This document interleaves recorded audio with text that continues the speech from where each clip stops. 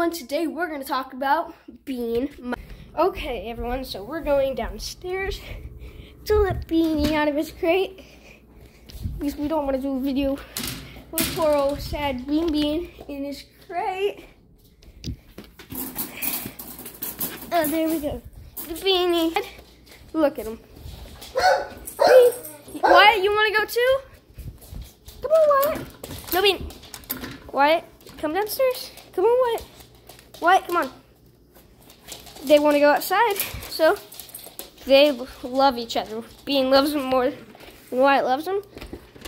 So while they're running, I'll talk to you about everything about them. So that is Beanie. His, he is part of our family.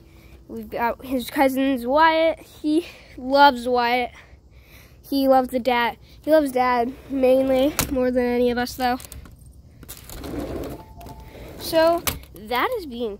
I got him for a Christmas present.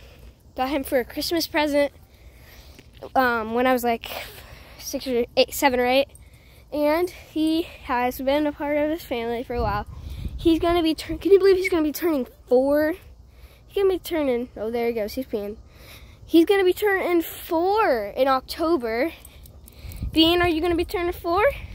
You're on YouTube. What do you want to say to the people? Yeah, okay. You're like, don't film me. So he loves treats, but he really does love butter more than anything. He barks at the TV.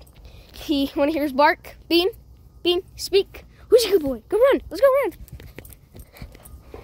And that is Bean. Okay, make sure to watch the video on Wyatt. So, that's all for today, people.